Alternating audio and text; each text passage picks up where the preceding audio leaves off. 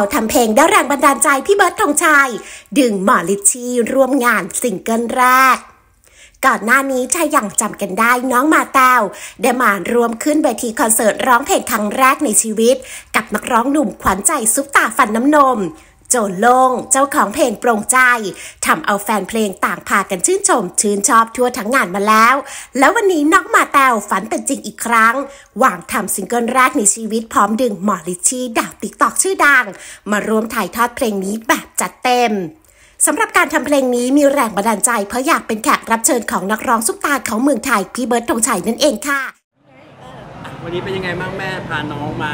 แฟนคลับตอบรับดีมาก ดีมากสนุกมากๆ คือเขาเรียกว่าอะไรอะมาแตลเป็นขวัญใจตั้งแต่เด็กเล็ก จนเด็กเออเด็กมต้นมปลาย จนถึงผู้ใหญ่ค่ะ แต่วันนี้ยอมรับว่าสนุกมากๆ มาแตลสนุกไหมคะ สนุกมากครับ ได้เจอพี่โจลงแล้ว พี่โจลงได้ขึ้นพาขึ้นแล้วครับ อ่า แล้ววันนี้ก็คือเป็นซิงเกิลแรกบอกทางนี้ใช่ไหมคะ วันนี้ก็ออกซิงเอ่อซิงเกิลแรกค่ะ ร้องที่นี่เป็นที่แรกนะคะ แต่ยังไม่เป็นทางการค่ะ แต่ว่าร้องที่นี่เป็นที่ที่แรกนะคะ ชื่อเพลงว่าเธออยู่ที่ไหนกันนะครับ เธออยู่ที่ไหนนะคะขอทำไมถึงเลือกมาเป็นเพลงนี้นะเออมันเป็นเพลงที่เราซื้อต้องบอกอะไรซื้อลิขสิทธิ์มาค่ะ แล้วก็เอ่อนักดนตรีเนี่ยเคยทำงานกับม้าค่ะครับเราก็เลยเอ่อมาแต่ว่ามันมันมันเป็นเพลงแบบ เพลงเพลงช้าที่คลาสสิกอะไรอย่างนี้นะคะ ใครที่คิดถึงใครอยู่ แล้วเอ่อหรือรักกันแล้วไม่สามารถอยู่ด้วยกันได้นะคะ ต้องฟังเพลงนี้ค่ะ ครับ ซึ้งมากๆเลยอะไรที่ตัสิโดนใจ อะไรที่ตัดสินใจให้อยากให้น้องมีซิงเกิลเป็นของตัวเองอะครับ ก็เพราะว่ามาเตาเขามีความฝันค่ะ เขาอยากเป็นเกสของพี่เบิร์ดธงชัยมั่นใจจิ้มกระเด็นเลยลูกเอาใหม่คันเอ่อเพราะว่าหนูอยากเป็นเกสของพี่เบิร์ดธงชัยมั่นใจครับ แต่ไม่ได้เป็นได้ง่ายนะฮะ อ่าเราก็คืเลอ ครับ ผมรู้จักกับพี่นกน้อยครับเออคือเขาเรียกว่าอะไรอะ การที่ความฝันอันนี้มันยิ่งใหญ่อะนะคะ ความฝันเขาก็คือเขาอยากจะเป็นเกสที่ไปด้วยความสามารถค่ะ เพราะฉะนั้นมาม่าก็เลยบอกว่าถ้าอย่างนั้นเนี่ยมาเตาก็จะต้องเป็นศิลปิน หรือทำตัวเองให้มีคุณภาพนะคะเขาก็เลยเริ่มจากจุดตรงนี้ แล้วก็เป็นอะไรที่เขาชอบด้วยเขามีพรสวรรค์อาจจะไม่ได้เก่งมากนะคะ แต่ก็ถือว่าทำได้ดีในระดับหนึ่งแล้วก็จะค่อยๆพัฒนาขึ้นเรื่อยๆนะคะ บางทีอะจะรอความพร้อมอะมันคงจะไม่ได้เริ่มสักที เพราะฉะนั้นเอาตอนที่เรารู้สึกว่าเขากล้าที่จะทำดีกว่านะคะ แล้วก็รอดูการพัฒนาของน้องต่อไปค่ะ ครับอ่าวันนี้ได้มาร้องเพลงแล้วเป็นแฟนค่อนข้างที่จะแบบโอ้ได้ดีแบบว่าผม ฟังให้จบก่อนลูก เป็นยังไงบ้างมาแตมรู้สึกดีครับที่ผมร้องเพลงได้ผมโบกมือให้หลายคนครับ ผมเดินไปจุ๊บสาวด้วยครับอ่านี่สำคัญกับจุ๊บสาวเหรอ เออ ไม่ใช่ผมทำอย่างนี้เลยครับเฮ้ยหมาอย่างเงี้ยอ่า จริงๆพอมามาถึงอย่างเงี้ยแล้วมีคนมาขอถ่ายรูปมีคนมาชื่นชอบในผลงาน มาแต่รู้สึกว่าดีใจแค่ไหนมันดีใจมากครับ เพราะว่าได้เจอแฟนคลับ แต่ไม่ได้อยู่มรสุมอย่างนั้นแล้วครับอ่า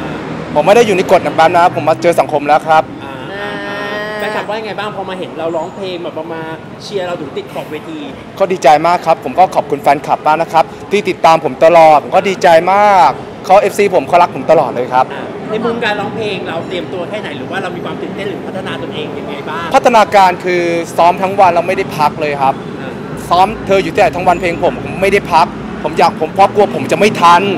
โอเคนะครับ อ่าอะมาเตลมาเตลตั้งใจทำงานเพราะอะไรครับ เพราะผมอยากทำงานหาเงินให้แม่ให้อาม่าผมน้องผมอยู่สบายน้องผมก็ต้องไปเรียนเมืองนอกครับ ครับ เขาอยากหาเงินส่งน้องไปเรียนอเมริกาแไหมคะได้ค่ะได้ได้ใครก็ว่าได้ที่แต่แบบแต่สามารถพัฒนามาได้ขนาดนี้แล้วคุณแม่รู้สึกไงบ้างกับการที่เราเลี้ยงดูมา เออจริงๆอาจจะบอกว่ามาเตลอะเออมีแฟนคลับอะค่ะติดต่อมาเยอะมากนะคะ บอกว่ามาเตลอะเหมือนเป็นไอดอลแล้วก็เป็นแรงบันดาลใจสำหรับเอ่อลูกลูกลูกของคุณพ่อคุณแม่ที่เป็นเด็กออทิสติกแบบนี้ค่ะ ครับ จะบอกว่าเออเขาเลือกเกิดไม่ได้ แต่เขาเลือกที่จะพัฒนาตัวเองได้ มาเตลเนี่ยเคย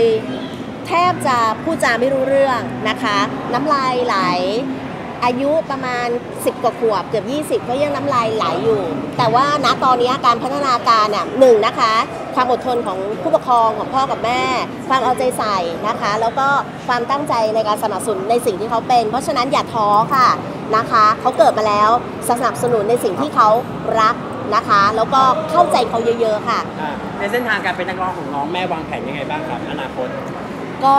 จริงๆอะถ้าอนาคตเลยใช่ไหมคะ ตั้งใจ อันนี้เราแค่คาดหวังของเรานะความฝันแม่ เคยคาดหวังว่าเขาว่าเป็นคนที่ฟังดนตรีเก่งมากอ๋อคือหูหูเนี่ยติ๊กปุ๊บเขารู้เลยเพลงอะไร แล้วเขาจะเหมือนกับจับดนตรีตัวโน้ตถูก สักวันหนึ่งเขาอาจจะเปิดสตูดิโอแล้วก็ทำเพลงก็ได้เอ่อเพราะว่าเขาเป็นคนที่เข้าใจแบบ อาจจะยังไม่รู้ตัวโน้ตว่าอะไรมันจะยังไงเขาอาจจะยังไม่รู้ระบบนี้ แต่ว่าพอเวลาเขาก้าวเข้ามาเรื่อยๆอาจจะเป็นอะไรที่มากกว่าการเป็นศิลปินก็ได้ค่ะใน part ของคนดูแลแม่จะต้องช่วยน้อง support ยังไงบ้างกับตรงเส้นทางนี้ก็ support ทุกอย่าง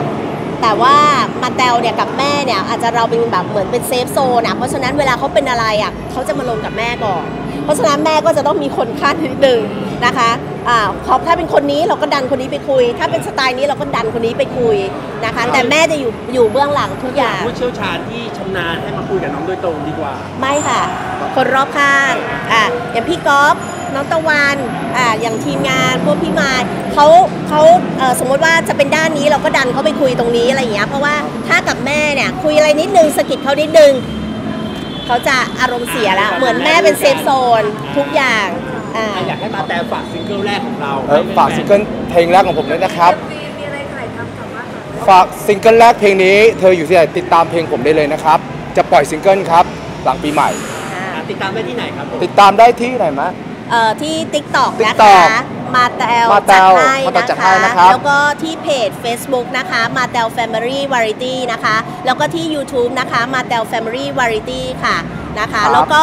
MV นะเราจะเปิดปล่อยหลังปีใหม่ประมาณช่วงวันที่ 24มกรานะคะ แต่ว่าช่วงนี้เราจะปล่อยทีเซอร์ก่อนอะไรอย่างเงี้ยนะคะครับเห็นค่ะว่าแม่ลงทุนก็แบบจุดเจ็ดหลักเหมือนกันในในการทำเพลงครั้งนี้ ใช่ค่ะครับใช่ค่ะ